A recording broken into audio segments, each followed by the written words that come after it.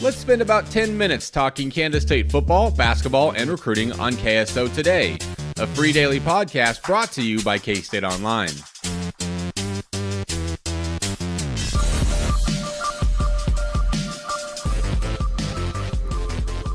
Well, the dust has settled at least some on this Thursday, January 23rd, 2020.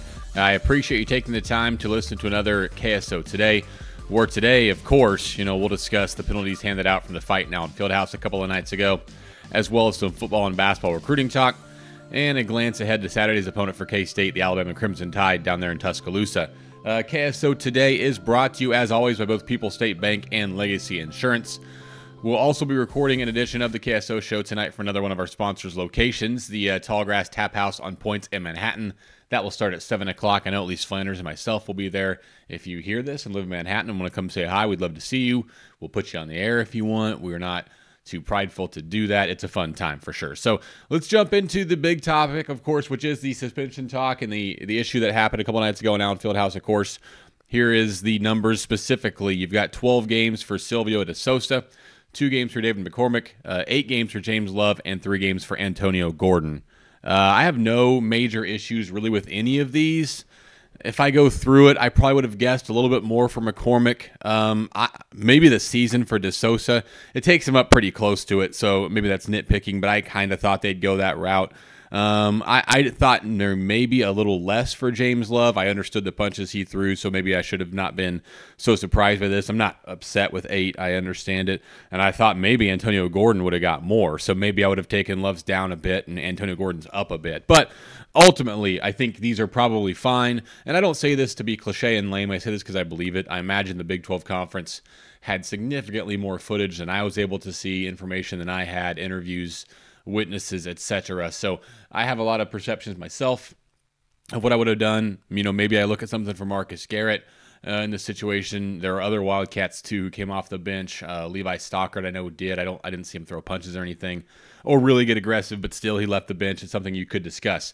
So while I could understand either fan base looking at this and saying, "Man, this guy should have got more," I don't think this is too bad um, overall. And I guess I hope at this point uh, both programs move forward, uh, try to get better somehow from this situation, not let it affect their season as much as it possibly could for either side. And then, you know, uh, not let it happen again the next time they meet in Manhattan and have a much, much cleaner game. There will be more basketball played for K State, of course, the rest of this season. The next game will be at Alabama as K State steps out of league play like everyone else in the league does, you know, for these Big 12 SEC matchups. Bama's played pretty well lately. The Crimson Tide beat Vandy last night 77 to 62. That moved Alabama to 11 and 7 on the year. They're 4 and 2 in SEC play. If you look at them now, they've won three straight games. That includes an 83 64 win over number four at the time, at least Auburn.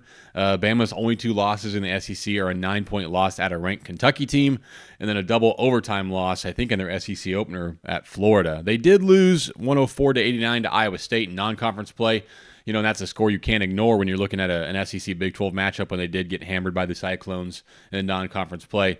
But Bama's been a much better team from that point on, um, and really has been very good. You look at the last ten or so games. I think they're eight and two in the last ten, and those two losses are the two close SEC road losses that I already mentioned. So it'll be a very difficult opponent for K State. Um, and we'll have a lot of work previewing this Friday and Saturday on the site, of course. KSU underscore fan, as he always does, will share a lot of advanced metrics with us, a lot of numbers to show you what Bama's good at and what K State would need to do to beat them. I don't want to get too far into that you know that game because we'll preview a lot here on the site in the next couple of days. But I think I'm going to be interested to see what happens. Of course, you know K State's going to go down there a little bit shorthanded uh, with what's happened and some injuries. Mike McGuirl don't know if he'll be back yet or not. He's now missed three games with a concussion, um, so that will be interesting to follow. And now this is a team, you know, coming off a 20 point loss to their rival and an embarrassing finish to the game for both programs. You're going to be curious how they respond to it. Now you go on the road against a team you're not familiar with for the last what is it now five games you've been playing teams you're pretty familiar with the scouts are common now it's all new. And maybe that's not a bad thing you know maybe getting out of the grind of that will be okay but i think it's going to be fascinating to see how k-state handles this. Um, it's their last opportunity of course to get a good non-conference win.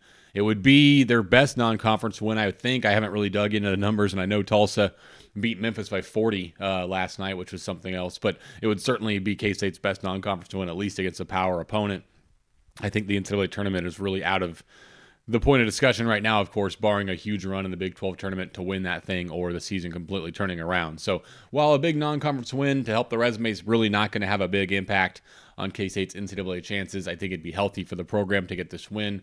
It would be good to have that, you know, that taste in their mouth, especially for the young players of the last non-conference game they played. They did beat an Alabama team that was pretty good. All that said, much much easier said than done. I think K State will be a, a relatively significant underdog in this game. And, you know, outside of the win over West Virginia, it would probably, not probably, it would certainly be K State's second best win of the year, considering the quality of opponent and the fact it's on the road. Um, brief looks here at basketball and football recruiting and basketball. You know, Flando did have an update earlier this week on Donovan Williams, the four star 2020 wing prospect out of Lincoln, Nebraska, um, who visited K State this past weekend and was in attendance when K State blew out West Virginia. K State's coaches wanted to make another trip to see Williams earlier this week. I know that was tweeted out by multiple people. Um, weather may have prevented it from happening. I'm not sure, but I do know there remains heavy contact between the two parties. And right now, Williams, of course, looking most heavily at you know Kansas State and Texas, who he also has an offer from. On football recruiting, yesterday Derek released a pretty lengthy football recruiting notebook, which included a number of names to look at for the class of 2020, still and a lot of 2021, where K State has really turned a lot of its focus to. Um, also, some talk on Xavier Kelly, the Wichita native and Clemson grad transfer. Um, although I think you know maybe since since that story, I've talked to you a little bit. That may be I don't know, something that kind of cooled off. I'm not sure that's something that's really going to happen, but we'll have to keep an eye on that, of course. And I shouldn't speak out of turn. He knows better than I do on that. Um, also, today, an update from Derek on a class of 2021 linebacker, Jermaine Hamilton Jordan, who grabbed a K State offer, the fifth linebacker for the class of 2021 to grab a K State offer. As Derek teaches us in that story, they've lost a couple of targets. Lost is a strong word. They have not landed a couple of targets who've gone elsewhere early in this process. So linebacker will remain key, and Hamilton Jordan is the latest one to get an offer from K State. I think it's a little bit brief today, but that's going to wrap up this installment of KSO today. I'd appreciate it if you'd give a listen to tonight's KSO show from the Tallgrass Tap House. Look for more football recruiting coverage on the site from DY this coming Friday and lots of Bama coverage this weekend. Appreciate your time and enjoy your Thursday.